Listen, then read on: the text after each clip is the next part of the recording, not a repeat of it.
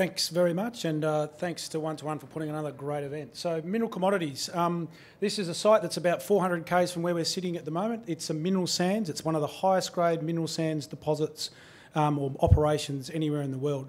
This was plant was commissioned in 2013. It's been in production since 2014. Uh, it's delivered about 50 million dollars US in uh, NPAT to uh, the shareholders, and we've paid about 22 million in dividends to our shareholders as a result of the, operating this asset. Right, where am I pressing? There we go. So there's a the standard disclaimer that you can read at your leisure.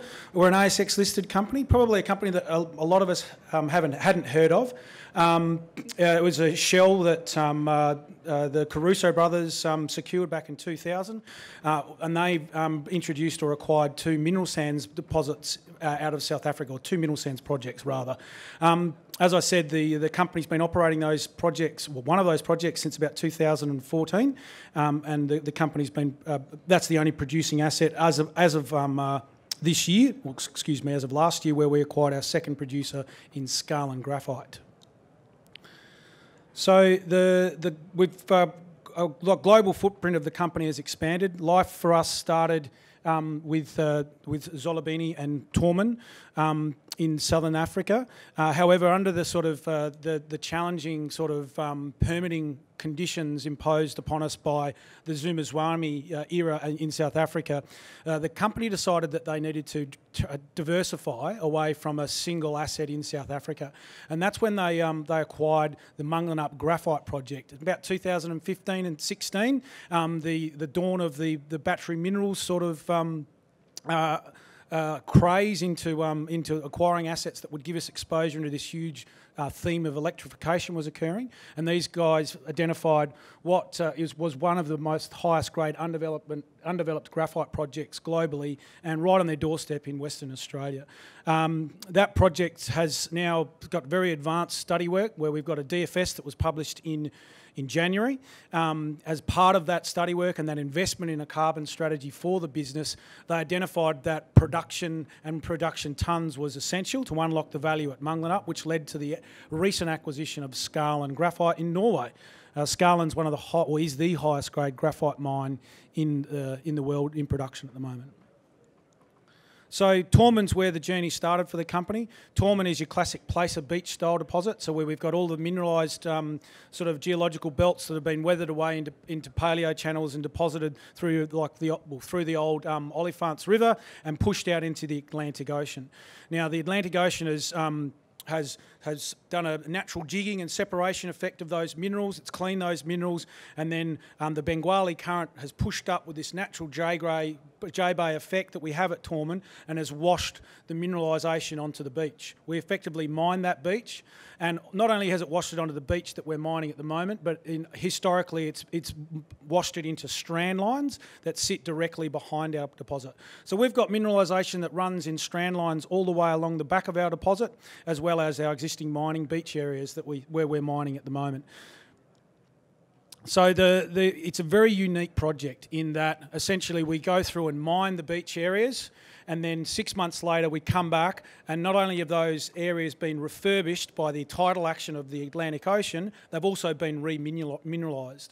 So we started out with a JORC compliant indicated resource of only 2.7 million tonnes in October 2014 and we've mined 11.7 million tonnes and we've, um, we've seen, all we've seen is a depletion in our grade. So we've pulled over 11.7 million tonnes, uh, initially mining at, at circa well, a staggering 55% of heavy mineral in our first year, where we're now down mining to about uh, 14% uh, as we as we mine today. So that's that's um, afforded the uh, the the shareholders a rich return, 50 million, as I said, of, of uh, nearly 50 million of free cash, or sorry, of you of NPAT to the company, 22 million of dividends. We started paying dividends back in 2016, uh, and we, we we're uh, obviously a very very high yielding junior mining company, um, and we've got a wonderful return on our equity that we've deployed today. So um, the, the the I guess the, the area here in yellow you can see is this area here. That's essentially where we've mined. Um, we've, we've, we've mined all that mineral, and what we've what we have always been wanting to do is to expand that mining. The replenishment um, profile needs to be managed. So we, what we look to do is to move the mining operations to the north. In um, 2018, we made an application to expand our mining right to move up into those northern beaches area. Um, in June last year, we received an environmental authorisation, and we're just now awaiting the outcome of a of a, of a uh, appeal that went in on, on the back of receiving that approval. So the plan is that once we receive these approvals, we would expand our mining operations. We'd move straight up into the northern beach areas, and we would where we would essentially be putting the same amount of material through our plant, but we'd be doing it at double the grade. Um, concurrently, we'd be developing a back strand line directly alongside the plant or behind the plant, and we'd start scheduling that material for, for mining um, soon after. So the way that would look, subject to permits drop, is we've got a phased expansion. The study work's been done here. We're just waiting for these permits to drop. In the first um, in the first um, phase of, of expansion, we'd go up into the northern beaches area where we'd be processing similar material. We'd take a primary beach concentrator up there, and then we'd just truck two and a half million tonnes down into the same plant, and we'd effectively double our concentrate. So the 10,000 tonnes of zircon and rutile that we're producing currently would, would look more like about 40,000 tonnes. Ilmenite would go from 180 to 200. Our garnet would go from 50 to circa 160 and magnetite. So these are these are projections based on the study work that we've done, um, and based I guess based on the uh, our, our, knowledge of the mineralised system that we've been operating in for some time. Phase two would, would incorporate those those beaches or that strand line directly behind the processing plant. So all we're going to be doing is essentially mining the strand line that would be directly to our left and right of where we've got our processing infrastructure, and um, we'd need to put a primary crushing circuit in there. The aeolian sands need a bit of a crush. They've had the, the, some carbonate leaching through that's that's toughened up that those those horizons. Crush, put in a classifier, and we could see our um, our throughput expand by, by doing that pre or that's that um, at pit concentration could go from three to three and a half million tonnes. And again, we'd see this this step change in our in our production profile with with re relatively modest capex. Once we sort of secure this this um, this tenure.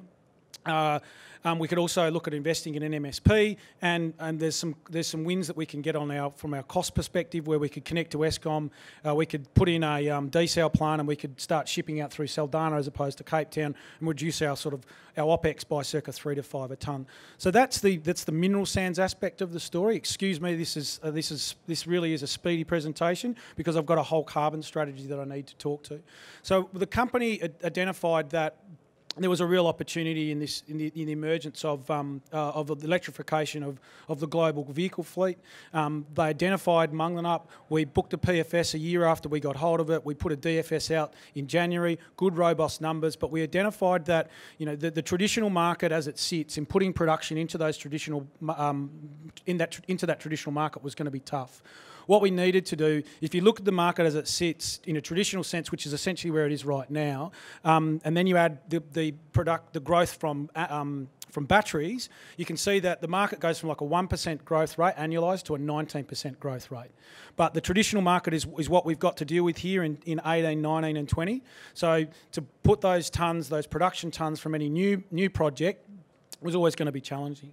So what we identified was there was an opportunity to acquire production, and we could not only acquire production, but we could acquire the production in the fastest growing market. So China's going to be the largest market, but the European market's going to be the fastest market, and it's going to be a market that's going to put much more emphasis on the um, the zero to, to low carbon.